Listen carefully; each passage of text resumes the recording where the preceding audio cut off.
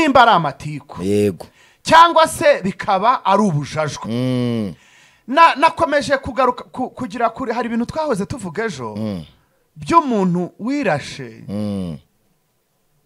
wari umusirikare akaba ari ari uyu munsi ari muri isiko Eh. Eh, nubwo twabisomye natahanye akantu. Kiki se kandi? Ko uwagiye aba yagiye nta kindi kintu kiba gisigaye. Ariko nkibaza Mm. Wowe wiyanga wikunda kugera ku kigero kingana iki?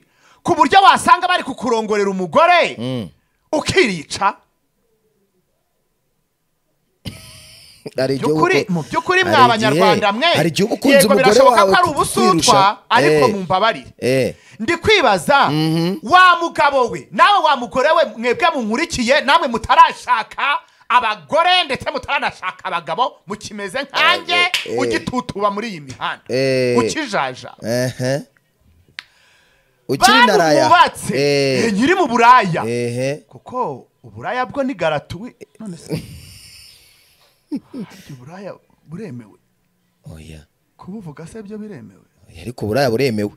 Ubwo niba bwemewe no kuvuga buremewe. None se ubundi utarashaka umugore cyangwa umugabo? Eh. u- uba uri iki? uba uri ingaragu. Kandi buratangiye. Uba ugaragurika hehe Eh, ko numvira izuba ri- ribyutse rikwakira oya ryandasiyeho mu gitondo cya kare nyine ubwo iyo umuntu aba atarashaka aba ari ingaragu. Hanyuma? Eh, hanyuma iki kindi si ibi- ibihe bindi ibihe bindi ibihe. None se nimba ubyukiye muri ibyo bintu ngo by'abantu ngo bikunda ngo bimeze bite? None se kuba Uri kuvuga ku bantu batikunda Eh. bivuze yuko ufite igikomere? Erega hari umuntu uba ukunda umugore we kuruta uko oya yikunda nimumbabarire. Mwaramutse mutahubwa aha hantu muri mwebwe muri karitsiye z'iwanyu bihagaze bite? I- i- inkuru ziri mu mihanda. Hari hari inkuru ziba ku mihanda minini Eh. n'iziba ku duhanda duto n'utuyira biterwa n'aho hari bihurira. n'iziba ku masangano y'inzira iyi nayitoraguye iyo ikantarange ejo twarayisomye. Namwe nimumbwire mwa bantu b'imana mwe. Mwikunda ku kigero kingana iki cyangwa mwiyanga ku kigero kingana iki? Wa mugore ku buryo ushobora gusanga umugabo wawe ari, ari gukwana undi mugore cyangwa ugasanga umu- umugore wawe bari kumukwana Mm. Cyangwa akantu katumye yiyahura Eh. ni uko ari umukozi we. Eh, ariko sha. umuntu gutekera amafunguro. Akanagutekera sha mu buriri. Cyakora mureke mbabwize ukuri. Mwa bagore mwe bo muri iyi mihanda. Mufite akazi katoroshye. Urabyutse n'umugabo. Mm. agiye ku kazi cyangwa yakarayemo? Keretse ariko ubu ubu leta ntabwo uyu mugore ari mu maboko ataraye. Ko ariyo nta ari we ntandaro yo kugira ngo uyu mugabo we yiyice kwiyica kwe none se ubwo ariwe wamurashe? None se wabiteye? Nimumbarire mubare mubwire. Wenda Eh. abantu batumvise iyi Eh, wowe ushobora gusanga umugore wawe bari kumukwana cyangwa ugasanga umugabo wawe bari ari ari gukwana kuguca inyuma. Ubwo ni mu rugande. Eh. gukwana babyumve neza. Ugasanga ariko sha reka tubivuge uko biri n'ubundi. Nta bana badukurikiye muri iki gitondo. Eh. nimba banahari gabanya gatoya. Ushyire muri ekuteri. Ishyiramo ekuteri. Ubu se hari umuntu ufite soniteke ku buryo yitereka ku idirishya n'abana bari gucaracara bari kujya ku abana ishuri barimo bakumva. barajya ku ishuri. Ubwo ni ukuvuga ngo eh, reka tubivuge gutya. Uvuye mu kazi usanze umugore wawe ari kuguca inyuma ariko gucana inyuma bishatse kuvuga iki? Ko niyo uzengurutse umuntu uri gutambuka uba umuca inyuma? Nica inyuma ahangaha cyangwa uca imbere? Bararabi ugasanga umugore bari kumusambanya sha. Eh. Asani, ariko ye ubwo aba muri gutsinda mutsindagira ibiki? Ubwo rero mwigize abantu mawe yango ntabwo. Eh, ngo mwigize eh, ngo abanyarwanda badanje. none se baba bumva nyine ikinyarwanda neza! N'ubundi reka dukoreshe uruganda. Eh, kumukwana. Eh, ugasanga umubwira. Ugasanga umugore we bari kumukwana cyangwa ugasanga umugabo bari gukwana abandi bagore. Yego. cyangwa undi mugore. Eh, wahita ufata imbunda ukirasa? Oya ariko se ubundi bano basekirite Mm, baba ziriya mbunda baba bafite ziba ziri seri. Mm. oya ntabwo ziba ziri seri uzamwegere umubaze atari ko ndasa ndebe nimba ino mbunda ikora. Uyenze ajya amubwira yirasa ahubwo ari ese ubundi mbazi iyi mbunda yirasha ageze mu rugo. Iyi mbunda arayitahana. Ntabwo babashyira babaha gahunda baka ubwo yirashe ari ku kazi. Leta rero nireke aba basekirite harimo abapfumbafu ba- batazi kuzikoresha nk'uko bikwiriye. Mumbabarire mbivuge gutya kuko iyi mbunda cyangwa ubuyobozi bwayo ntabwo buri gukora neza kugira ngo umukozi nava ku kazi. Urugero niba avuye ku kazi nambaye izi izi izi headphone Mm, ntuzenya izi ekuteri mm, okay. Noneho izi ekuteri nambaye wenda zitandukanye n'izi ngizi zanjye mfite mu matwi zanjye zisanzwe. Utu du- utu duhe- utu du headphones twanjye Eh, izi ekuteri zo mu kazi ndamutse nzisohokanye ubishinzwe akandika nkazitwara nkajya kuzikoresha ibitandukanye n'akazi zikora urumva nawe yaba ari mu makosa? Yego. Ariko nanone ushobora kuzitwara. Umuciye muri humye. ndimuciye muri humye kubera iki? Nyine. Ashinzwe iki? None se ubu ngubu. None njyewe nta mabwiriza mu kazi ninjira hano bampaye ushobora kundasa kandi hano hari abandi bantu. by'akazi ngomba kubirinda? Nta n'icyo ngomba gukura muri studio ntavuze. Yego. Ubu ushobora gufata iki? iriya kamera? Eee ukayitwara. Nkayitwara. None se umuntu ubishinzwe ubishinzwe hano ku isibo? Mm. yasobanurira iki bose ndi kugaruka noneho tureke guhuza ibi, ibikoresho by'akazi ni- n'iby'intuzenya mumbabarire mu bwisukure Mm, uyu musekirite ukora muri iriya kampani iyo arangije akazi atahana imbunda ntande Ntabwo ayitahana. abihererwa nande uburenganzira Ntabwo yirasiye mu kazi se yamenye yuko umugore aba ari kumurongora. Ubwo yarabimenye. Erega hari igihe umuntu uba- ubizi ukabimuhisha ariko bika- bikageraho bikakurenga. Ugasanga nyine agiye kwande hepfo iriya. None se yagiye kwirasa? Nuko ntabagaruka Mm. none se yagiye kwirasa? Nari kumubaza nti none se da wagiye kwirasa usanze gahunda porogaramu? Eh, eh, ahubwo se ko wasanze wirashe igikorwa kirimo? Eh, hari ukuntu umwana Wa- oya nka kwa kundi yadufite twumvise ya nkuru ngo ngo ngo ngo yafashe ikinyoni cye Eh, ngashyira mu kanyoni. Eh, inyoni Eh. zihura n'inyoni.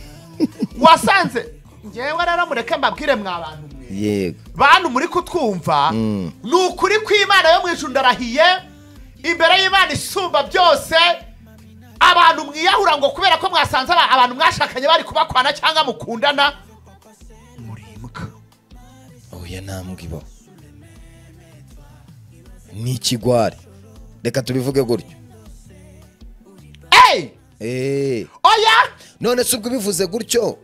Uvuze nyine uwo mugabo asanze uwo mugore warimo aramukwana none ubwo uwo mugore wa- uwo mugabo wasanze umu- umu- umu- umu- umugore wasanze umugabo we ari kubikora. Na none Ni se nawe ajya yiyica? Batiyica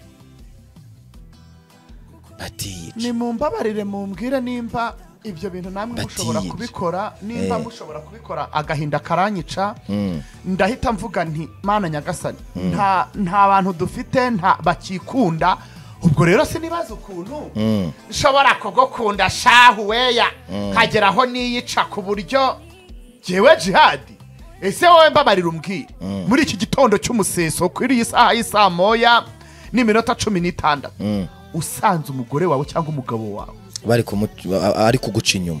Wakwiyica bari kumusambanya. Eh, bari kumusambanya. Eh, kuko ibyo wakwiyica gucana inyuma byo ntibihari. Wakwiyica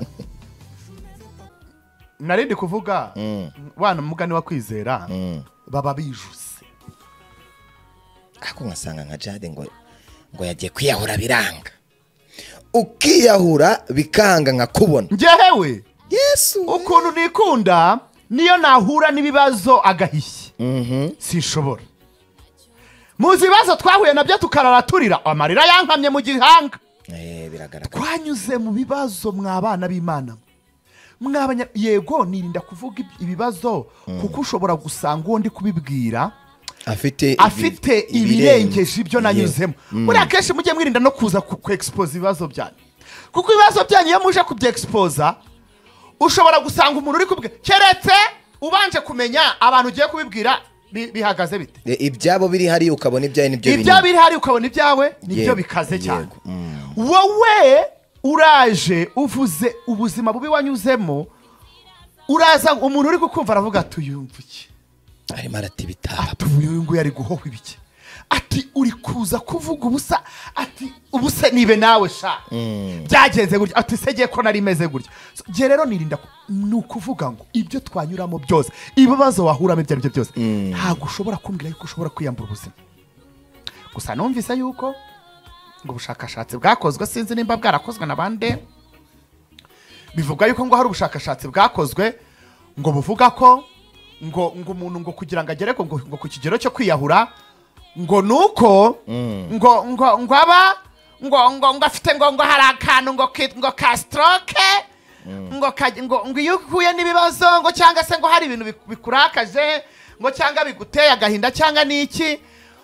Ngo ntubisohore ngo biragenda bikipakiramo ukagira ngo ni agasenda baboye k'inkoko ngo bikagenda bikipakiramo bikipakiramo ngo iyo bimaze kurenga Eh. ngo ubwenge Eh, n'imitsi gato ngo ni ariko rwose subizo se ko umuntu arwara stress Ari- barazirwara ariko baraye ubwo ngo ni ibintu ngo byipanga bikipanga bikipanga mwagiye mubipangura mwagiye bimwe mubigabanyaho sha jihadi ndakumva nyumva nyine ese mwagiye mwicara byareka nitaba abantu kuko ndumva utagiye gukina. Ubu hari umuntu uri kukumva akavuga ati sha nk'ubu uyu muntu. Akavuga ngo nk'ubu uyu muntu umufashe cyangwa hariya. avuga ngo afashe. Eh, nimubabarire mumbwire Eh. ibyo bintu biba byipanga aho ngaho. Na- ntimugerageze no kubikora. Ubu ntagiye wigize wicara ukavuga ati ariko noneho ndazibandwa nzerekeza he? Cyarabaye. Yego rero. ariko nkashaka umwanzuro w'icyo kibazo. Hari igihe wowe uba ufite uwo mwanzuro uri buwubone noneho hari umuntu ugira cya kibazo. Oya ntabwo uba uri yareba bubone. hirya yareba hino akabona nta- i- i- upfa icyubahiro no gupfa cy'uwiteka gucurika umutwe mu maguru. Mbere y'uko ari urugero ngize hana ni kandi izina urumva nyine uko byagenda kose. Ya, ni nk'uko tujya twicara tukavuga tuti uri ndi kwa rubangura. Ese buriya hari igihe kizaza uri ndi kwa jihadi oya. Eh. Jyewe uba mu karekare none se hari igihe uzaba warayabonye. Hawuzi runaka ya danje mutamenwa n'aba mfite. Mm. Oya nimba bibi nahari ntabyo kuko mba mbona naramenetse. Nta muntu wavuga ngo ari kwa jihadi we. Aha mu yandi makuru perezida wa afurika y'epfo ramaphosa yahuye na mugenzi we wa uganda yoweri kakuta museveni wa uganda baganira ku mutekano w'akarere w'aka karere duherereyemo. Ubutumwa bugufi buherekejwe n'amashusho ya perezida ramaphosa aho ahura na museveni buvuga ko abakuru b'ibihugu byombi bahuriye mu ngoro ya perezida wa uganda. Baganiriye ku mutekano w'aka karere n'ituze ryako harimo n'intambara ibera mu burasirazuba bwa repubulika iharanira demokarasi ya kongo perezida ramaphosa yageze muri uganda ah, yahageze ku wa mbere nimugoroba akaba asoza uruzinduko rwe muri iki gihugu cya uganda. Ah, hari hashize igihe gito avuye mu rwanda aho yifatanyije n'abanyarwanda muri rusange mu muhango wo gutangiza icyumweru cy'icyunamo n'iminsi ijana yo kwibuka ku nshuro ya mirongo itatu jenoside yakorewe abatutsi mu mwaka w'igihumbi kimwe magana cyenda mirongo cyenda na kane. Mu biganiro yagiranye na perezida mu biganiro yagiranye na perezida paul kagame eh, harimo no kuvuga ku kibazo cya kongo aho ramaphosa yiyemeje gushyigikira ibiganiro mu cyimbo cy'intambara. Kuri uyu wa mbere ni bwo ni ku wa mbere ushize cyangwa se ejo bundi eh, perezida museveni yahuye na cakaya eh, kikwete wabaye perezida wa tanzania akaba yaramuhaye ubutumwa ah, bwa perezida samia suhuru eh, perezida ah, wa ah, tanzania. Ngayo nguko. Amafoza ariko akomeje nyine kuganira na bamwe mu bakuru b'ibihugu barebwa n'iki kibazo cya repubulika iharanira demokarasi ya kongo ariko kongo jiha karama hari abantu bari mu ishyaka bahoze mu ishyaka riri ku butegetsi muri repubulika iharanira demokarasi ya kongo bari kugenda babivamo bigira mu rindi shyaka. Cyangwa se bajya muri mu makumyabiri na gatatu. mbabwire mbabwize ukuri. Mm. iyi leta ariko yo uremera ko ari leta? Ya kongo se? Mm. Ari igihugu iki gihugu cya kongo ibi bihugu bidukikije ndetse n'ibindi byakarebeye ku rwanda byakarebeye ku mateka yaranze igihugu cyacu byibura iyo iyo babonye iyo babona yuko intambara cyangwa se isenya kandi tubaka barashoza intambara y'iki ubu hariya ha- ha- hazaba ikintu cyo kwica abantu. Kandi n'ubu kiriyo. Cyane. Kuki batiga kweri? Ntabwo barebera kuri jenoside yakorewe abatutsi. Icyenda kane. Eh, hano mu rwanda. Mm. kweri? Erega baravuga ngo amatwi arimo urupfu ntiyumva. Aha. Kandi koko. Mu by'ukuri ntabwo bareba ngo babe bakwicara baganire ba- ba- ba- ba- basotinga ibintu. Niba byanze bashaka abandi ariko bareke gukereye intambara nawe se igihugu kirimo ni ukuvuga ngo igihugu kirimo imitwe. Mm. ni harimo imitwe y'iterabwoba. Myinshi cyane. Buriya kongo hano muri afurika ni cyo gihugu gifite imitwe myinshi igeze kandi burya igihugu kirimo imitwe y'iterabwoba. Bigaragara yuko nta mutekano gifite nta n'ubuyobozi buhamye gifite. Buriya se? Yego. Niyo mpamvu bajya kwivuza bakifotoza amasinapu bagafata serifi hari abagira ngo kwivuza. abaturage ko perezida ari muzima ari tayari ameze neza. Perezida utwika nawe perezida nyine umeze neza bagomba kwereka abanyagihugu. Ameze nibe nawe undi uvuga uti mureke twerere isazi hariya se Mm. Eh, hariya ariko eh. Kuko ngewe iyo nimba hari ikintu ndi gukurikirana muri iyi minsi mm. ni ibintu biri kubera muri congo. Ndicara najya nkareba ibitangazamakuru biri buze kubi- ku- ku- kubi- kumpa amakuru neza. Haba ibyaha mu rwanda ndetse no muri congo. Ni ukuri hari gututumba. Iri kongo iraza gucikamo ibice bibiri erega banza umenye ko igihugu cya kongo repubulika iharanira demokarasi ya kongo ni igihugu kinini kandi ni igihugu kibumbatiye hanyuma cyakaba kinini bivuze ngo abantu bagituye bicwe. Kongo impamvu intambara itagomba gushirayo byumva. Ni igihugu kinini jiha. Kuba ari igihugu kinini gifite ubutunzi bakabishimye bakashimye ko banafite igihugu kinini. Ni ibyo kurwaniramo se cyangwa ni ibyo kwishimira ubutunzi burimo. Ntabwo bigomba kubura ibyo ntibigomba. Kuko kongo iri mu bihugu bifite amabuye y'agaciro ku rwego rwo hejuru. Kongo ikaba mu gihugu gifite ibiti isi muri rusange n'abantu muri rusange bifuza. Izo zakabaye imbaraga zo gukomeza kubaka igihugu. Ntibibe imbaraga. None se ntibibe imbaraga. None se ibyiza biri mu gihugu biba intandaro yo kugira ngo gisenyuke? Rero bivuze ko abayobozi babo baracyafite akazi kanini ka- cyangwa kenshi gakomeye. Uri kumva? Nababwira iki? Gakomeye? Ntangazwa n'abantu Mm. batiga. Ariko jiha ni ukuri bige bate? Kandi bi- bimbabaza kubi nk'ibi bintu. Ufite mba mbabazwa n'abantu bari kubigenderamo. Muri rusange. Rubanda rugufi. Ni bimwe bavuga ngo aho inka zirwani aho inzovu zirwaniye inshishi zirahagendera. Mana nyagasani. Imana nitabare imana ni aha naho mafite inkuru. Mm, eh, y'aba- y'abantu ribu yataye muri yombi ba- a- ba- bari gukorerwaho bari gukorwaho iperereza. Ubwo ni mu byasohotse mu binyamakuru Eh, abantu mirongo itanu na batatu. Bakurikiranyweho cyangwa bakekwaho ibyaha by'ingengabitekerezo ya jenoside mu cyumweru cyo kwibuka ku nshuro ya mirongo itatu. Urwego rw'igihugu rw'ubugenzacyaha rib rwatangaje ko mu minsi irindwi y'icyumweru eh, cyo kwibuka ku nshuro ya mirongo itatu jenoside yakorewe abatutsi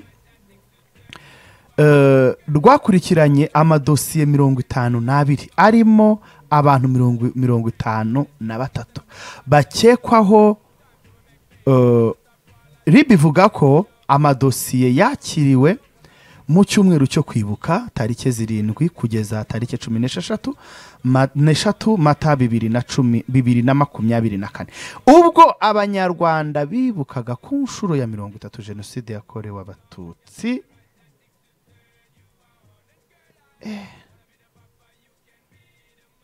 Noneho hano bafite amadosiye ah, mirongo ni ukuvuga ngo nayabonetse ariko hakurikiranwa mirongo itanu n'atatu. Habonetse mirongo itanu n'atandatu. Abantu b'igitsina gabo bakurikiranyweho ibi byaha ni abantu mirongo ine na babiri. Bangana na mirongo irindwi n'icyenda n'ibice bibiri ku ijana. Mu gihe ab'igitsina gore ari cumi n'umwe. Eh, bagize makumyabiri makumyabiri n'ibice umunani ku ijana. Muri abo bose harimo batatu bigeze gukurikiranwaho kugira uruhare muri jenoside yakorewe abatutsi uh, mu gihe mirongo ine na barindwi batigeze bakurikiranwaho abandi batatu bafite ababyeyi bagize bigeze gukurikiranwaho kugira uruhare muri jenoside yakorewe abatutsi. Abafunzwe Mm. muri bibiri na makumyabiri na kane ni mirongo itatu n'icyenda. Abagishakishwa batandatu mu gihe abandi umunani bata- batamenyekanye. Urubyiruko rukurikiranyweho ibi byaha ni cumi na batatu ku mana nyagasani. Ni ukuvuga ngo bari hagati y'imyaka cumi n'irindwi na mirongo itatu. Bangana na makumyabiri na bane n'ibice bitanu ku ijana. Mu gihe abafite imyaka iri hagati iri hagati ya mirongo itatu na mirongo itatu na miro- na miro- imyaka mirongo itatu na mirongo mirongo itatu n'umwe na mirongo ine n'ine ndetse abo bo bangana na makumyabiri na bane. Noneho ku ijana ni mirongo ine na batanu n'ibice bitatu. Umuvugizi wa ribu dogita murangira bitiyeri yagize ati muri rusange isesengura rishingiye ku birego ribu yakiriye rigaragaza ko ingengabitekerezo ya jenoside n'ibyaha bifitanye isano na yo igenda igabanuka. Ikindi kandi ni uko ubukana ibi byaha byakoranwaga mu myaka yo hambere buri kugenda bugabanuka ku kigero cyo hejuru.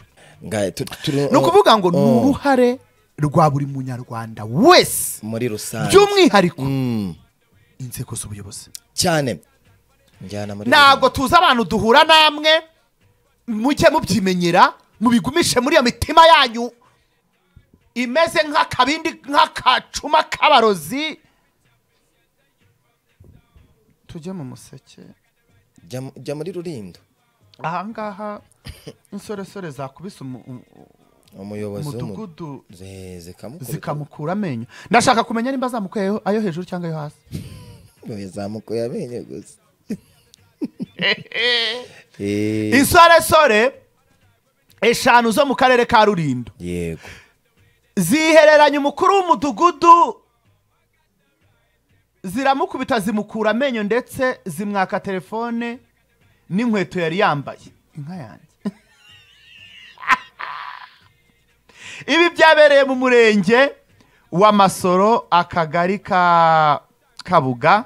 Umudugudu wa rubaya ni kuri cumi n'enye ubwo hari ku cyumweru. Uyu muyobozi yari kumwe n'ushinzwe umutekano muri uyu mudugudu. Akanaba sedo mu kagari. Ka kabuga. witwa habyarimana felix. Nawe wakubiswe agakomereka. Amakuru avuga ko bahuye n'aba banyarugomo ubwo bari bagiye gukemura ikibazo cy'umuturage wari ubitabaje ko nawe yakubiswe.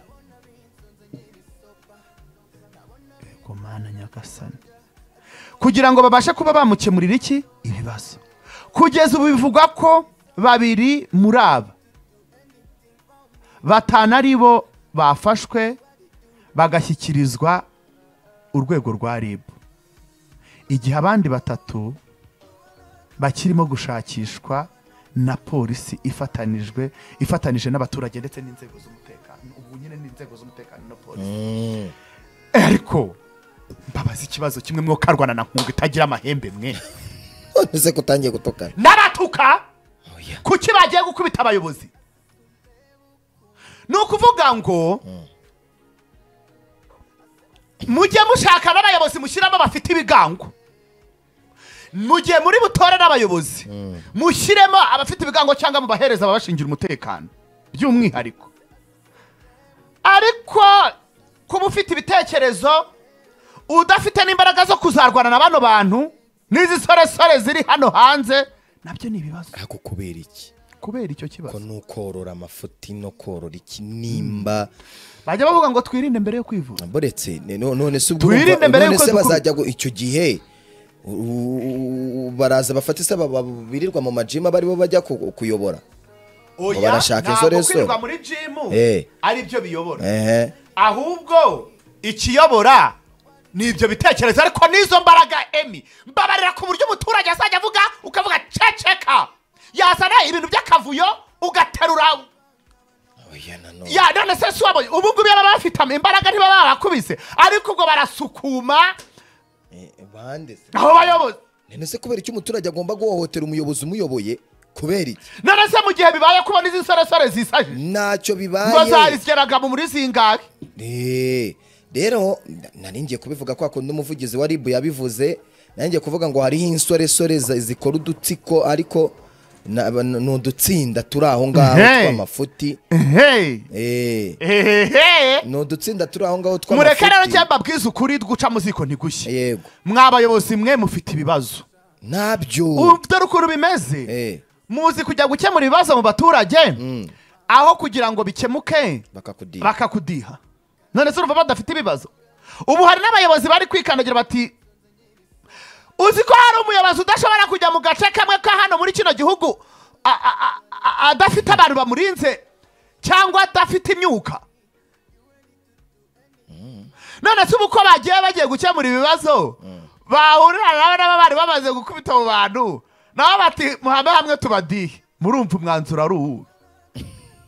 Kuko ukuri kwibana tujye tubwizanye ukuri uyu muyobozi njye nagize ikibazo ni we waba ari imana yanjye. Mm, kugira ngo aze ankemurire. Ikibazo. None nta nkemuriye ikibazo baramudishye nawe. Mbese ubwo nasigara ameze kandi izi ni za nsoresore zirirwa muri karitsiye? Zinywa imbutabuta Eh, banywa za inuza ziri aho ngaho. Agahura n'umuyobozi ntagazi ibi biva no kutubaha abayobozi bacu. Ako kuki koko umuntu nimba mana nyagasani.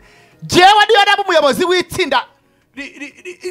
Ry'ikibina gitanga ijana ku munsi. Ukansuzugura kuyihanira ni bibi. Ubyibuke. Nyine ukansuzugura Eh, yeee ariko sha!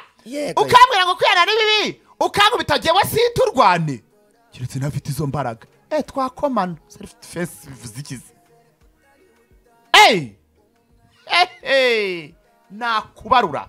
Abantu bari bari kumbwira. Mm. ariko ukuru uvuge ngo ngumva ngo ngo muzajya mutuma n'akazi tutakajyamo ngo inkuru murazivuga noneho ukagira ngo mu- mu- mukanajya no gukurugutura abantu mu matwi. Reka reka Eh, nicyo tubereyeho hano. nta tishikoto tuba dufite. Noneho tuje mu nkuru z'imihanda. Iyi mihanda yanyereye ariko dusimbukire kwa muyango Tujye kwafata ku mavuta. Ibyo mwigize bizasobanuka we. Hari ibintu bijyanye n'injyawuro muri iyi mihanda. Eh, ngo bambaye ibyera iyo ndirimbo urayizi? Ngo bambaye ibyera we bambaye ibyera baraje. ubukwe niyo nzaririmba kuko ni njye uzaba uri imbere. Ye Ariko- ngo bambaye ibyera. se- ubu fata ku mavuta arimo araririmba intsinzi. Iyo ndirimbo urayizi? Ubwo baraho. Hehe baraho bameze neza ubu Okay. Sinakubwiye ngo hari igihe uzaza ariko kukubwira ngo jiha. Mwana nawe ndashaka kuza gusura uriya mukobwa wawe. Eh, haleluya haleluya umuntu witwa afata ku mavuta. Wareka tugahera ku njyaburo kwa muyango. Kwa, mukakimenya mukakimenyi. Eh, reka tubanze duhamagare fata ku mavuta n'umuntu witwa nuza babanze begere radiyo baze hano. barahari. Fata urahari. Ariko sha. Iyi mihanda ibyo tuvuga tuba tubizi ahubwo mukagenda mukabihuza n'imitekerereze n'imyumvire yanyu Yego. ntibutahure abantu mukumva ko babikomye kandi mugomba gukomwa kubera yuko mwishyize mu mihanda. Yego. Waretse tu- uretse ikize. Buretse gato. Ikize. Reka duhere kwa muyango. Eh. turamanuka tumanukira kwafata ku mavuta no muri nuza no kwa, no kwa nopoja. Nibaze nimwe mwishyize n'ubundi reka byose tujye tubivuga. Ni ukuvuga ngo turi kubabwira ibyo mu mihanda. Yego. Muyango we baramuzi ni umuhosti eh mu maklabu atandukanye. Yego. ndetse ni n'umunyamakuru Wa hano ku isibo Eh, akaba n'umwe mu bantu bamamaza Mu kiganiro Over. Eh, akaba n'umwe mu bantu bamamaza ibikorwa bya bamwe mu ba- mu- mu- mu- mu- mu bantu babifite hano mu rwanda. Ariko Eh. yatangaje ko hari amakuru yavugaga ko yirukanywe muri iriya kampani ya hariya ruguru. Hariya. Aha ku gisozi. Kwa noruberi ehe. Noneho tubona indi ubundi butumwa bubi bibeshyuza. Bavuga ati ntabwo twigeze tumwirukana.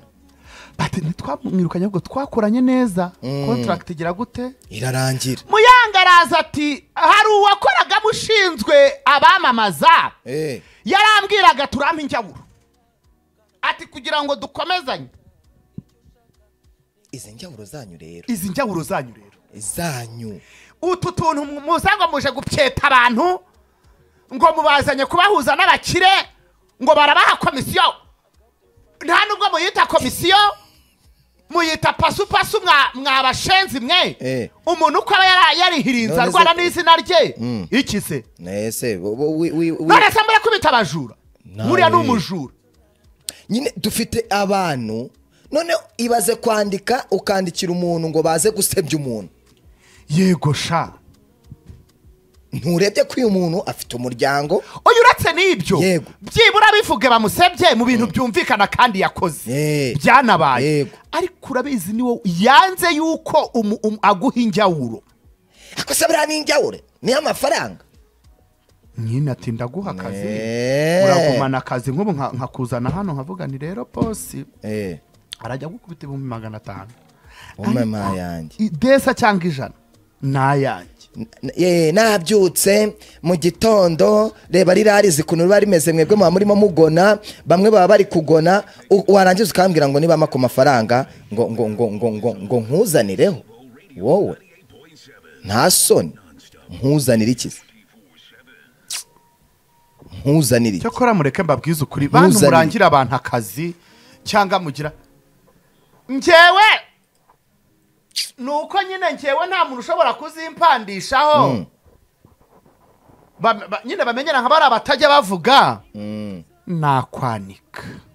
Oya ikibazo Hey. ntabwo wowe nyamara si hari ibintu twagiye tuvuga ngo ibintu ngo byo muri za turu di rwanda ngo na hehe na hehe.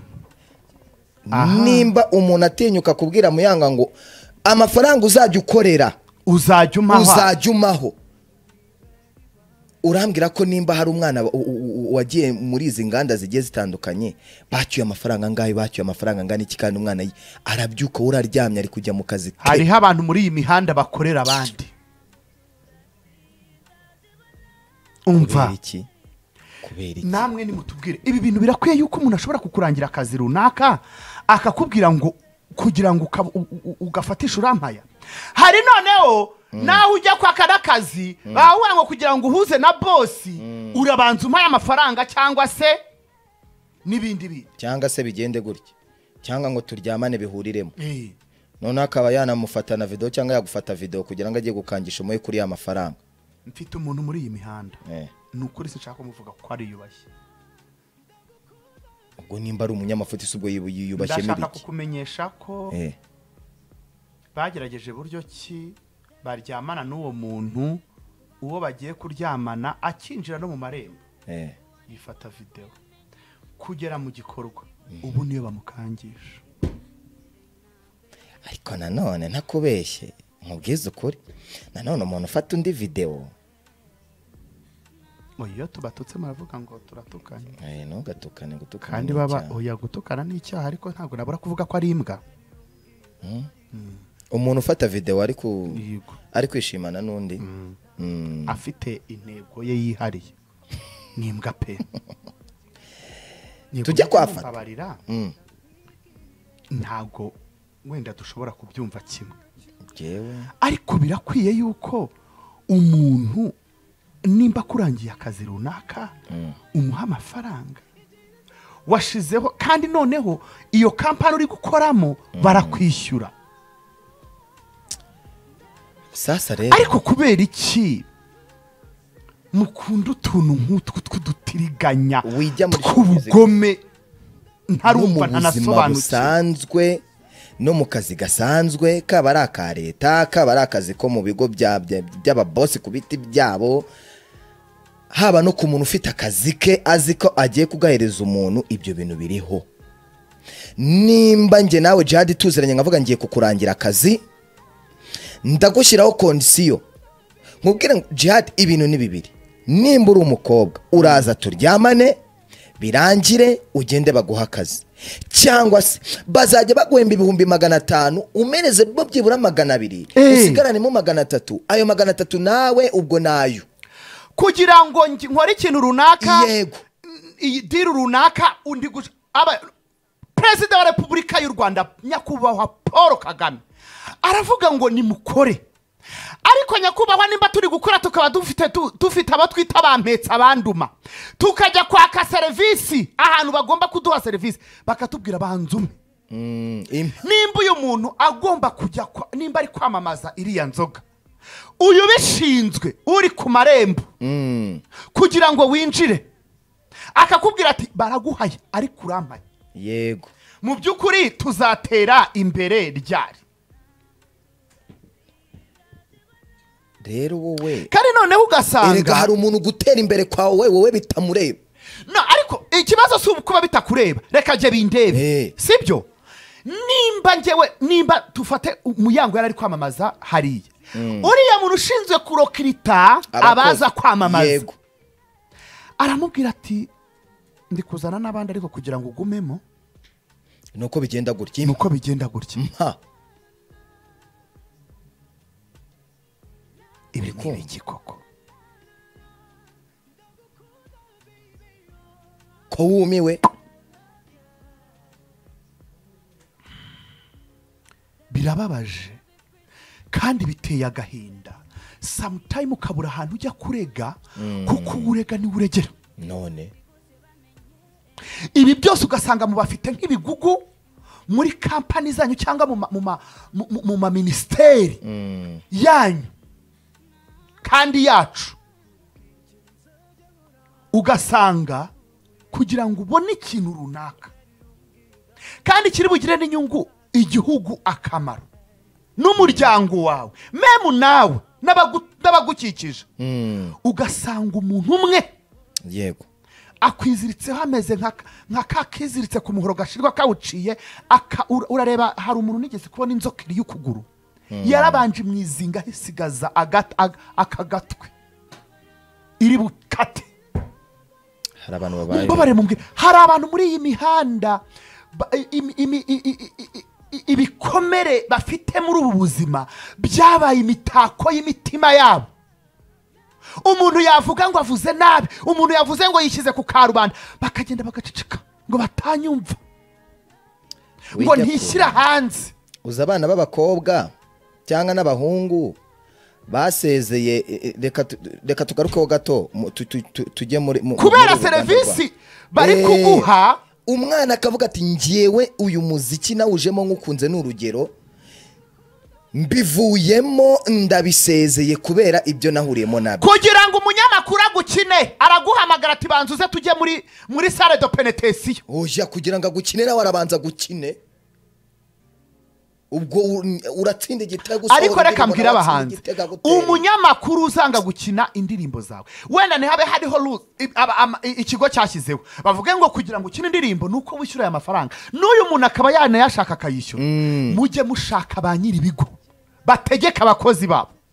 Hari igihe usanga rero nyir'ibigo hari igihe us- usanga umuntu washinze kampani ibyo atabizi w'icyapa Azabimenya ryari se? amafaranga nyine yinjiye. Ah, nyumva neza hano hantu. Nimba umuntu avuga ngo kugira ngo bankine ni ukubera yuko ngomba kuryamana n'uriya muntu. Nawe nawe bakagukina. None se nyir'ikigo ni- niyo mategeko yashyizeho n'amabwiriza? Kuko hari amategeko hakaba n'amahame. Erega nihica umwami hica rubanda? Eh, abo rubanda ariko bafite ubahagarariye. Nyine. Turumvikana. Eh. uyu mu- uyu muha- uyu muhanzi nimba umu- umu- umunyamakuru runaka bigenje gutyo. Shaka nyir'ikigo kuko ari gukoramo nk'umukozi kandi arahembwa. Nimba hari amategeko ikigo cyashyizeho niba yakubwira uyakurikize n'utayakurikiza ubireke kuko ndibaza ko ikigo ki- nta muyobozi w'ikigo cy'itangazamakuru ushobora kuvuga ngo uzabagana muzabanze mumubwire mugende kugira ngo umukino ubanze ujye kumukinanura mu buriri. Naho nituza kuri iki kintu cyatumye muyanga avuga ati ni umuntu wari ushinzwe abantu bamamaza da? Urumva bimara igihe kingana iki? Igihe kinini umutima uba warabuze. Barangiza bakajya kwigira beza bakajya kuvuga umuntu kandi bazi ibyo bakoze. Babizi cyane. Kandi nta n'ikibazo wumva we yifitiye we nta kibazo. kugira ngo ubone akazi runaka kugira ngo ubone isoko runaka ni uko hari ibyo ugomba gutanga. None. Kugira ngo uhure n'umuyobozi runaka ni uko ugomba kubanza gutanga amafaranga kugira ngo bamukugezeho. Ariko! Nyine arakubwira urabona ngo uriya muntu ngo ni besita wanjye ni inshuti yanjye ngewe namukugezaho byoroshye. Ni ukuri kw'imana. Eh, namukugezaho byoroshye eh, kandi uri kumva nta kintu namubwira ngo yange kukumva. Hariho n'abantu n'umuntu ushobora kujya gukora bizinesi kandi ibyo ngibyo nta mategeko ahari abi- abigenga. Ahubwo ugasanga ni ikintu cy'ikintu biyubakiye aho ngaho. Yego. Kugira ngo iyo bizinesi yawe icemo cyangwa abantu turi kubona ingero nyinshi. Turi kuzibona ugasanga hari ugiye ku amafaranga ushoye muri bizinesi arutwa n'ayo utanze kugira ngo ukore ya bizinesi none. You guys. Hari abatwariramo inda. Hari abanduriramo indwara. Oya ntacyo. Kubera bamwe mu aha bizajya babosi bijya ku karubanda imana ibibone. Tuvuze ubushize twavuze ku kijyanye na- na- na- n'icuruzwa ry'abakobwa riri kubera muri riri kuvugwa muri turu di rwanda. Barangije babihindura ngo amawuwa cyangwa indabo. Ngo nta ndabo ufite. Eh, ngo hari indabo ngo bari zingahe bafite agaterime gashyashya ngo k'indabo. K'indabo. Tumaze kubivugaho ndakubwiye ngo nahuye n'intambara zikomeye nkahura n'abantu ngo ari kubivuga iki? Nimba mvuga ibi biri kuvugwa. Ntabwo mba ndi kuvuga ibyo ntoraguye mu mihanda. Nimba umwana w'umukobwa yandikiye akabwira ati jiha ndi muri iyi kampani ariko ntumvuge izina ntunayivuge. Eh, ati wagwana. Bimeze ehe. Barangije bahindura terime y'indabo. Ubwo ugasanga umuntu avuye muri muri kampani runaka cyangwa mu kigo runaka aje mu kindi cyitwa x avuye muri w. Mm, aje muri x gushakamo indabo. Uwo muri w nawe agiye? Muri wayi kumuhereza. Niko byagenze. Kandi umuntu aravuga ati nta kundi byagenda. Kandi aramubwira ngo nsayidira nanjye naragusayidira hari icyo uriya muntu ashaka? Mm, kuko hari igihe ureba ukabona biragucanze ukavuga uti oke aho kugira ngo mbure byose nk'ingati imennye reka ngirennye ni nka kwa kundi umuntu abura uko abigenza hari igihe umwana w'umukobwa aba yirirwa iwabo mu rugo ari we wenyine akavuga ati se ndaka mama wanjye amafaranga yo kugura amavuta. Ndamwaka urabona igihe- hari igihe bajya mu kwezi. Nda- buri kantu kose nzajya nkaka mama. Yabona ako kazi niyo yaba ari buporofitemo kubona byibura n'ibyo bihumbi makumyabiri. Agakorera nyine ibyo makumyabiri agatanga umubiri. Icyuya. Cyokora. Kandi sha umu imana hari ukuntu bajya bavuga ngo icyo nkundira imana. Mm. byose bishyira ku Ha- hatinda hatinda igihe. Ah, bitinda kuza. Ariko igihe cyo ntabwo kijya gitinda. Igihe na uko ubona isegonda rigenda. Ujya umenya ko iryo segonda ni ry'ituruna. Ujya umenya yuko nawe ibyawe birimo byegera rya dore hari ibigo na byo biri kuvugwa hafi aha hafi aha hafi aha hafi aha hadukikije hafi si kure ni hafi cyane hafi. Mm. na byo byirirwa umuntu akabituma ngo baradeduwana maweya ngo bazana ibintu. Ubu rero leta nishyiraho gahunda y'uko ibintu bizajya bica muri majerwa tubyemere ko ariho biciye. Naho abantu bavuga ngo barazana ibi bintu ubifate hari igihe ubituma bikabura dore hari ibigo bari kumpa ahangaha imana imbabarire ntimungweho. Umunsi ibintu byanyu byagiye ku karubanda. Nzaba mbumva ariko ngo hari neza n'amakampani yafunze. Na ba nyirazo baragenda. Batagenda. Hari izo tuzi. Murareba iyi iyi iyi iyi iyi yitwa tomu taransifa muzi abantu yariye. Hari n'indi ntashaka kuvuga Ah, ah, izina urantunge. nta ntambara ashaka muri iyi mihanda Eh, n'amatiku. ubwo ngo bagiye ngo muri koreya Eh, kudaduwana bariya abantu ugize utyo uguze akamodoka ugashyizemo aho baguhaye amafaranga yikwinjira kuri ako kamodoka bakayarya ugasanga imodoka. Ndababwiye ngo muri tomu taransifa hari imodoka ya- ishobora kuba yanditse ku bantu nka batanu. Eh, nkabaza! Kugira ngo iyi modoka ive kuri jihadi wayiguze. Ijye kuri yemi. Ijye kuri emi ive kuri emi ijye ku wundi. Kandi abone purake nshyashya. Ayihabwa nande? Ayibona mu buhe buryo? Mitasi ikorwa ite you guys hari abantu mukoresha ububasha mufite? Mugakandamiza abantu ibi bintu rero biri muri iyi mihanda turabihaza erega wowe wowe uko ni wowe wo- wowe urabivuga nyine nk'umuntu ubibona noneho mwe umuntu wari kubivuga gutyo nta Eh. n'akagare wifitiye muri umujyi wa kigali umeze nka jihadi reba kugira ngo umuntu abe yarabyutse amajoro nk'ayo tubyuka aya ngaya. Agere ku gihe cyo kugura imodoka ya miliyoni cumi n'eshanu cumi n'ebyiri. Ayizane muri kampani. Ayizane muri kampani avuga ngo irantungira abana. Nirangiza ijya gutunga abana b'ibunaka kwa runaka kwa kanaka. Ngo ni uko alo you guys hari ibigo byafunze. Hari n'ibindi bikiri kuri pendingi dushaka gushyira hanze harya ngo mwagiye muri za koreya muravayo. muravayo ko wagira ngo bakuriyemo akamodoka jotoje kawe. Oya ya ya ya ya jye nayihande Eh. kandi abakire bo muri iyi mihanda babeshywa gute? Nimba hari abantu mwifatira.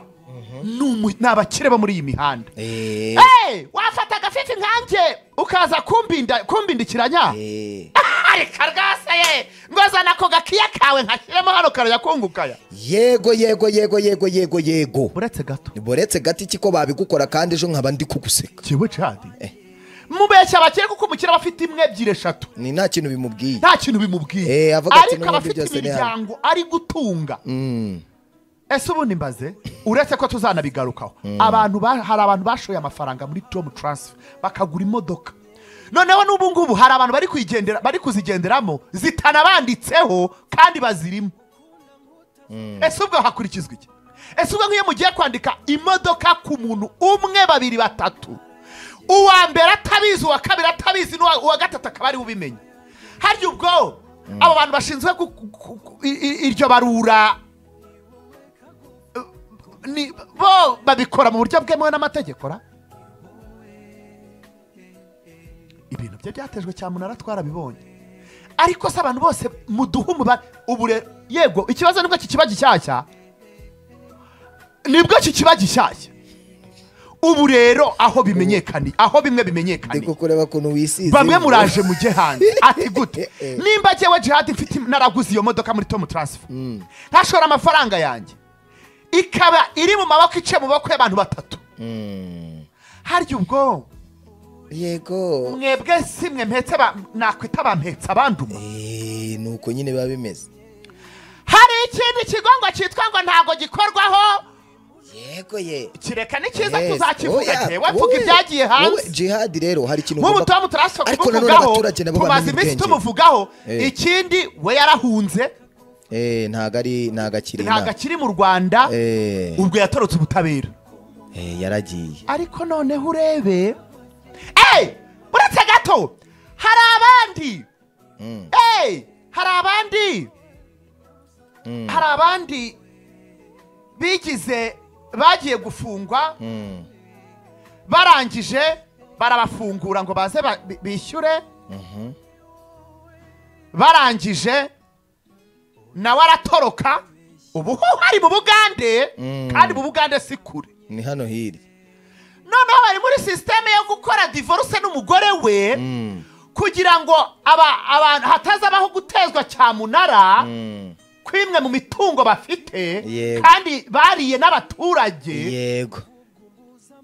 Ngaho ugarukiraho aba bantu rero mumbabarire mu binotera ahantu Mm. aya makampani tuzayagarukaho. N'iyi kampani yoyo biri hanze. Mm. n'ubundi nzaza mbibavira imuzi Ubivuga y'ukuntu ari kuvugana n'umugore we ngo bakora divorce Mm. kugira ngo imitungo imujyeho. Mhm. abantu baririwe ibyabo ba- bahombe. Ibyo byose tuzabizana. Ariko ariko ibaze nk'uyu mugore n'uyu mugabo baba bacuriye iyo migambi baba bazi ko ubuzima buzarangira gute? Eh? Baba bumva bizagenda gute? Umva ni mwegure udusonga bugari muze tubahereze inkuru z'imihanda. Ariko nshaka kubaza biriya bihembo wowe wabibonye ute? Mbere yuko tujya kwa bafata mbabarira unteranye n'abavandimwe. Oya njye ariko ndi kukwibariza. Unteranye n'abantu ibihe bihembo? Eh, ibihembo byatangiwe muri kenya. Eh. Eh. Ejo ntitwabivuzeho ubwo ntabwo ushaka kunteranya n'aba- na- n'abayigize ariya kuru na muyoboke na na na na debeni na nopu nande nande nanopoja oya na na na nakoze none se Nopoja- ntibabitwaye nyine? none se nanopoja niyo yatwaye igihembo none se cye- ntabwo tugomba kubyishimira. Congratulation ariko hiyongereweho Chris izi na na na na ntuze Eh, na n'icyambu. mbonyi na ba na ba Bruce Melody batwaye ibihembo. Mbega umunyarwanda eh nawe yaragitwaye cy'umuhanzi ufite korabo nziza. When she's around. Imana ishimwe rero. Eh? Ndumva nta kintu wowe se? Eh? wowe. Ngeze hari ibihembo njyantwara Mm. by'ikizo aragitwaye ariko. Ibyikiza best influence. Uyu ikiriya cyose ubundi mu rwanda ni icyanjye eh. Gihora ari icyanjye aya ni icyawe ariko. Babarira tujye mu manza zo muri iyi mihanda. Fata ku mavuta arekuye ibintu mu kanya. Eh, ni ibipombe byo mu mihanda. Reka mwumve. Uko byatangiye? Eh. Murahari ariko nimubanze agasinye mutubwire ko Eh, muhari kugira ngo nyirase! eh, fata ku mavuta fata ku oya mavuta baba barahari barahari. Ahubwo abadukurikiye Murahari. nirangira iminota itararangira eh. ejo nzayigarukaho. Ehe umuntu witwa fata umuntu witwa nopoje rwari rumaze igihe kinini. Uretse fatira abo bantu bambwire ko ba- umuntu umwe nambwira ati turahari. Arabahagarariye bose. Isibo fm hano emi. Waramutse waramutse Murahari. waramutse. Murahari tubabwiriza fata. Umva shema smoke nateye agatebe rwose hano ijari tubaryamyeho. Uretse iyi minota utayirya reka tuze Eh. dufate undi. Uretse gatoya uwo mureke. Eh. bareke. Kubibona ko bahari. Biri kwaka. Fata Eh. mu bihumbi bibiri na makumyabiri na gatatu mu kwa gatanu aragira ati nahamagawe n'urwego n'umuvugizi w'urwego rw'ubugenzacyaha rib. Dr. Murangira bitiyeri yego. Amenyesha ko ngomba kwitaba kuri ribu kimihurura headquarter. Ibindi nkabimenya mpageze. Mu minota mike nari mpageze hanyuma nabo muri serivisi batanga neza bambwira ko hari umuntu witwa nduwimana jean paul uzwi ku izina rya nopuja. Wandeze kumukoraho inkuru z'ibihuha. Naratunguwe cyane kuko uyu ndu uyu nduwimana muri showbiz mwe muzi nka nopuja akaba umuyobozi wa country record itariki ya cyenda ukwezi kwa gatandatu. Saa cyenda n'iminota mirongo itatu n'itanu. Yego. Metode rubagumya umugenzacyaha ufite ububasha bwo kugenza ibyaha ankoresha inyandiko mvugo yibazwa ry'uregwa. Yego. Ndi kumwe n'umuroya wanjye witwa metere fatikaramu jean pierre ndamusuhuje fata ikaramu we. Bibiri na makumyabiri na gatatu mu kwezi kwa karindwi. Nibwo Eh. nabonye mesaje imbwira ko urubanza narezwemo n'uwitwa nduwimana jean paul rwamaze gushyikirizwa urukiko rw'ibanze rwa kicukiro. Hano hepfo Eh, ahangaha eh, ko- ko tuzaburana tariki eshanu z'ukwa mbere. Bibiri na makumyabiri na kane. Urwa ni urubanza rwande nande? Today ndashimira ndashimye cyane. Yego. nyuma yo kubona mesaje iturutse kuri roya wanjye bwana metere fatikaramu jean pierre ambwira ko urubanza rwa rwa- rwa- rwa- rwa- twarutsinze. Ndashimira cyane ubutabera bw'u rwanda. Yego. Ndetse n'ubucamanza Yego. n'ubucamanza butabera. Yego. ni umuhamya wo kubihamya. Yego. Notabene. Yego Cyangwa se- icyitonderwa. Hari impamvu ikomeye itumye mbabwira uru rubanza. Nyuma y'uko rurangiye Eh. wakwibaza impamvu ntagize icyo mbivugaho? Yego. Na mbere hose cyane ko rutwaye hafi umwaka. Yego. Ndabatamo operasiyo intsinzi isobanura akantu ku kandi. Yego. Aka kantu mukampere no puja Eh. muyoboke. Eh. N'abayoboke be barimo. Muyoboke alex de beni ngo biteguye kujurira ngo ngo byanze bikunze bagomba ko njya gufungirwa imageragere ubu butumwa kandi mubumpere reka ayo Eh, iki kiganiro tugiye kugikora duhagaze. Ati ubu butumwa kandi mubumpere Yego. umuntu witwa tom close yagerageje gushaka umuti w'ikibazo. Yego. Mumumbwirire ko urubanza rw'inshuti ze rwarangiye. Ubu rero tugiye kubabwira imizi y'urubanza byari bimeze gute? Buretse ubu ma- mpagaze gutya. Ubu Mpagaze nemye. reka mbanze some Eh. imyanzuro y'urubanza. Imyanzuro y'urubanza. Ukuntu byarangiye. Yego. Ako se fata yakwiyongoje agatanze dosiye yose. Oya. Ibintu bamuregaga. Decision. Eh. Rwemeje ko ikirego cyatanzwe n'ubushinjacyaha nta shingiro gifite. Ingingo ya makumyabiri na rimwe. Iyo makumyabiri na kabiri. Yego. rwemeje ko sengabo. Jean Bosco. Jean Bosco. Aka fata ku mavuta. Fata ku mavuta. Adahamwa n'icyaha cyo gutangaza amakuru y'ibihuha. Agizwe. Umwere ni umwere ruvuze ko amagarama y'urubanza yego. aherera Eh. mu isanduku ya leta. niko bigomba kugenda. Uru rubanza rero rumeze rutya? Eh.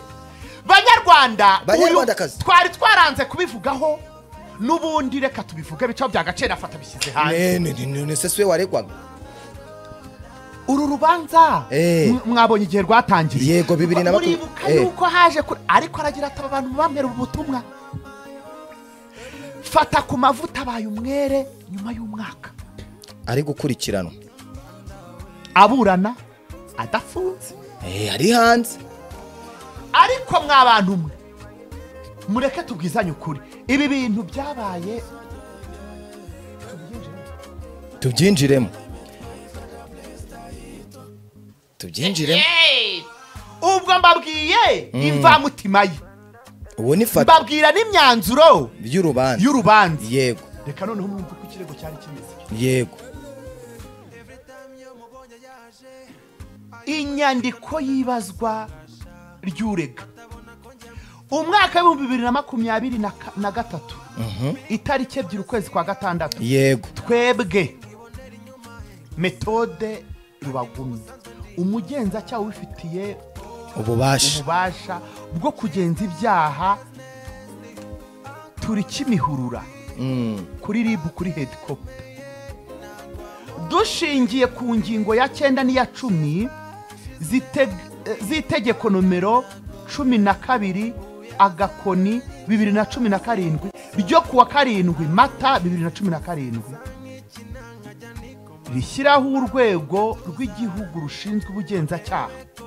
Dushingiye kandi ku ngingo ya mirongo ine na gatanu y'itegeko nomero zeru makumyabiri na karindwi akarongo bibiri na cumi n'icyenda ryo kuwa cumi n'icyenda z'ukwa cyenda bibiri na cumi n'icyenda. Ishyiraho itegeko eh, ryerekeye imiburanishirize y'imanza nshinjwabyaha twakiriye uwitwa. Nduwimana jean paul. Mwene reka ibyo byose tubisimbuke. Sibyo ubwo nduwimana jean paul ku bantu bakurikiranye isibe fm mirongo icyenda n'umunani n'ibi- n'ibice birindwi. Yitwa nopuja Eh. nyiri country record. Ubwenegihugu. Ibyo byose tubisimbuke na Eh. nimero za telefone tubisimbuke. Yego. hasi. Yego. inyandiko mvugo y'ibazwa rya nduwimana jean paul. Ikibazo. Ku itariki ya makumyabiri n'icyenda z'ukwa gatanu bibiri na makumyabiri na gatatu Mhm. wandikiye ubugenzacyaha utanga ikirego. Yego. Watubwira mu magambo avunaguye cyangwa arambuye a- n'arambuye. Uko ikirego watanze giteye? Igisubizo. Muri icyo kirego nareze uwitwa sengabo jean paul wiyita Sengabo Jean mavuta. Yego. sengabo jean bosco yego wiyita fata ku mavuta. aho yakoze ikiganiro gisakaza hirya no hino kuri interinete no kuri za twita avuga ko ngewe ndi uwimana jean paul. Nshinja mugisha fred ari we elementi kwica niyo nkuru jean claude bita bitaga kinyoni. Wa murumuna we. Icyo kiganiro ndakibuke rega urakibuka ko cyavuze? Eh, ni ukuvuga ngo aha hantu hakazamo n'uyu muntu ngo bigaragara ko yashatse ku- ku- guha isura ngo 155 am hanyuma avuga yuko ari we wabitangaje ngo yatangaje yuko ngo element ari we waruze waroze eh, Kinyoni. Kandi bikaba byaratangajwe n'ibiki byose? Ibi ni ku rubanza rwari ruhagaze. Uyu kinyoni ni murumuna wa nopuja wakoraga muri country ashinzwemo ibikorwa. Yego. Yego. Ni ukuvuga ngo tugiye kubacira ku, ku mayange iki ni ko ikirego cyari gihagaze. None se alex muyoboke aza amate? Eee yafata araza kudusobanurira aho bajyamo kuko yabadutumyeho reka rero nkwereke. Fata ku mavuta yakoze ikiganiro ndibuka ninjye wakimukoresheje ubwo yavugaga ku bintu uwitwa nopuja yari yapositinze yari yabipositinze mu rurimi rw'icyongereza icyo gihe yabikoze nimba nibuka neza ari muri kenya. Atari hano mu gihugu. Nopuja mu magambo ye. Bwe ku giti cye yiyandikiye kuri kuri kuri ku rukuta rwe rwa watsapu kuri sitatasi asobanura uburyo uwitwa elementi yamuhemukiye. Nopuja ngwino uyasoma. Vuga ibyo mwavuze. Icyo gihe uwitwa nopuja akimara kubipositinga yahise abikuraho. abikuraho. Mwabifashe. Inkwakuzi babi- babifashe. Ku iyo poste yavugaga ngo iki? Yasobanuragamo ibintu bimwe na bimwe uburyo uh, kinyoni yabuze ubuzima biri aho ngaho. Uh, uwitwa elementi nawe agakora iki? Bigasa muri- muri- muri ibyo bintu yari yapositinze we yagaragazaga ko uwitwa elementi asa nk'ubifitemo uruhare uwitwa rero afata ku mavuta nk'umusesenguzi bya bintu yari yabifashe yabibitse mu gatelefone ke yari afite ka iphone ndakibuka gato rwose. Fata ku mavuta mu kiganiro yahamagaye umugabo witwa karepi ukora kuri kuri kesitu uri kubyumva asobanura ayo magambo. Bigaragaza ko karepi aravuga ati bigaragaza ko uwitwa nopoja ari gushinja nde? Uwitwa elementi kuba yaragize uruhare mu rupfu rw'umuvandimwe we kinyoni. Jiha urahari? Ahari fata ku mavuta rero nk'umuntu wari wabibonye. Yagombaga gukora inkuru kuko iyo ni inkuru ku munyamakuru ukora imyidagaduro. Ariko tukagira ikibazo muri bamwe mu bantu baba muri ino myidagaduro yacu cyangwa muri showbiz yacu bifuzwa cyangwa se bifuza ko babavugaho ibyiza gusa ibibi bihari ntibabivuge. Ubwo witwa nopuja akora iki? Ajya mu gihugu cy'uburu ajya gutanga ikirego arega uwitwa nde? Uwitwa hari no kuza no gupfobya bimwe mu biga- mu biganiro byo gukora mubaza ngo kubera iki 55 155 am yinjiramo iyi ya entertainment baramubaza ngo kuba ukora ibintu bimwe na studio yitwa 155 am ubwo ni rebo. Ubihuza ute n'amagambo? Sengabo jean bosco bita fata ku mavuta yatangaje. Undi ati mu biganiro bye i- i- ibiganiro byanjye. Agataka cyane ibya studio yabereye umuvugizi. Ingingo ya gatanu. Ikigaragaza ko sengabo jean bosco bitafata ku mavuta ari umuvugizi wa, wa, wa 155 am ni iki? Igisubizo. Nta gihamya mbifitiye ariko biravugwa. You guys nimba umuntu ari umuvugizi w'ikintu runaka cyangwa ikigo runaka ukaba ugiye kuvuga ngo abibereye umuvugizi. Hepfo ukavuga ngo ni ibivugwa kuki byitwa ikirego? Ugiye kurega iki? Aka kadosiye reka nkabike neza. Kameze nka ka kabando k'iminsi ucakara ukakabika kure. Aka kadosiye twari tukamaranye igihe pe. Twaranze kuvuga. Ariko rebuka igihe tuvuga ati tujye mu rubanza rwa nopuja n'umuntu witwa fata. Narugiyemo. Urarukurikirana. Cyane. Ngo umuntu bakamubaza akabura ibintu asubiza. Ibi byagenze ni ukuvuga ngo Eh. cyokora imana mana mw'abanyarwanda mwe mureke mbabwize ukuri. Ese mbabazi mugomba kumenya ko uru ruganda atari urwa ba so icyo ni icya mbere mwitonde tubigendanemo neza. Nimumara gushyira ibintu byanyu ku karubanda mukajya mushyira amaposita yanyu ku karubanda tukaza tukayavugaho. Mukaza kwijundika bamwe mu babivuze. Ibi na byo ntabwo bizavamo. Nimba uzi ko udafite amakuru ashingiye ku bimenyetso. Ese nyakubahwa mugenzacyaha nimba ibi bintu byaravugwaga byagiye muri dosiye bikitwa icyaha gute? Ariko ikibazo ntabwo ari fata ku mavuta. Ikibazo ni uwabyipositingi ni we ndi kuvuga. Yego. Ikindi fata ku mavuta yagiye kuvuga ku bintu bya- bya- byatangajwe redi gusesengura mu buryo bwimbitse biremewe nk'umuntu uri kuvuga inkuru. Gusesengura inkuru wibaza. Kandi abanyarwanda ko mupositingara hehe ntabwo uzapositinga dodo ngo mbigire ikibazo. Ahubwo nshobora kuzatekereza ku murima waziciyemo. Eh, none nupositinga ngo umuntu ngo bimeze gutya Eh. tuzabura kuza kubivugaho ariko ubundi mbabazi mwamenye ko turi muri showbiz koko mukareka kubishyiramo inzangano mu by'ukuri. Ngo bifuzaga yuko bundi fata ku mavuta byibura afungwa. ntibajurire. None se kujurira? Eh, ufata ku mavuta kuba wenda ari gukurikiranwa adafunze ni byiza. Oya yagize umwere? Yagizwe umwere. Ibyo- ibyo ni ni- nyine ibintu ariko bemerewe kujurira? Nyine ntibajurire cyokora mureke mbabwize ariko ibintu ufata ku mavuta yari yapostinze byari byapostinzwe na nopuja yabyipostingiye kuri sitatasi ye. Ahubwo ubu bagombaga kurega umuntu witwa mugisha. Akavuga ko bamubeshyeye Yego. uwitwa mugisha ntiyatanze ikirego. Mugisha ni elementi elementi element ntiyatanze ikirego. ikirego gitanga nopuja kubera ko bakuyeho posite ye. Bakavuga none se ubundi nopuja yari atambamiye urubanza ngo ibikorwa byanjye ngo birabipfobya ngo akavuga neza. Eh, jyewe nawe ubu- ubundi iyo uri umuvugizi w'umuntu. eh.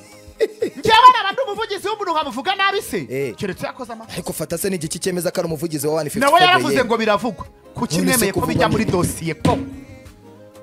Kuki mwemeye ko bijya muri dosiye mana nyagasani mana yo mu ijoro mana dusenga. Abantu bahita ibintu nyine nimba bivugwa kuki uyu mugenzacyaha wowe yemeye yuko byandikwa ariko nanone tukabaza nopuja kubera iki nopuja nimba yari yarabonye koko ko uyu mwana w'umuhungu element ni we wabipostinze. Ujya mu nkiko ukavuga ati nyamara uyu muntu yagize uruhare mu byabaye ku muntu wanjye. Sibyo se? Ariko poste muracyayifite. Yahise ayihoboza. Ubu nifata. Kereka uhamagaye ifata akakubaza ukuntu bimeze ukamubaza ukuntu bimeze. Se wamuhamagaye?